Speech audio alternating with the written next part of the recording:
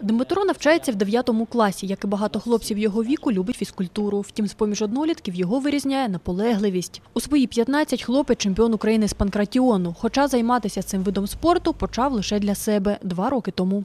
Починав я, як всі, в принципі, почав ходити на тренування. Ходив спочатку через день, ну так, чисто, скажімо, любительськи. Далі я вже почав професійно займатися кожен день. Дуже цей спорт подобався, дуже. На цьогорічному чемпіонаті України Дмитро Маноха посів друге місце. Суперників було дуже багато, 20 чоловік, дуже тяжко було.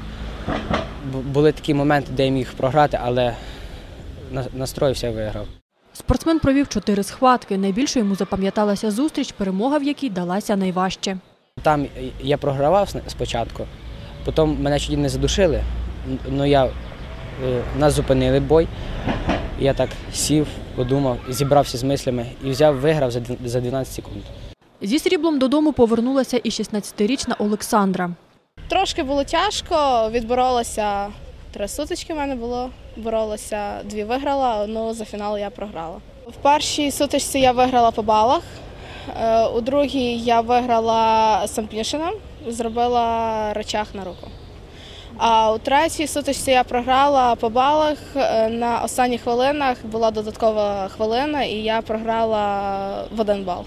Дмитра і Олександру об'єднує любов до спорту, здобути срібло на чемпіонаті України, а ще жага поділитися набутими знаннями. У майбутньому обидва спортсмени мріють займатися тренерською діяльністю. А надихає призерів наставник Дмитро Павлюк, котрий виховав уже не одного чемпіона. У здібностях своїх вихованців він не сумнівається. Стверджує, вони найкращі, і хай цього разу не стали першими, боролися гідно. Юніори молодці. В фіналах в них були сильні суперники. Були. Тобто вони програвали не, не слабачкам, а досить таким сильним е, діткам, які досить також гарно працюють і не перший рік вони в цьому спорті. Для двох хмельничан ці змагання були дебютні, утім вдалі. Ростислав Василишин став першим, а Євген Ковтун повернувся додому з бронзою. Ярослава Іщенко, Юрій Чорний для інформаційного випуску.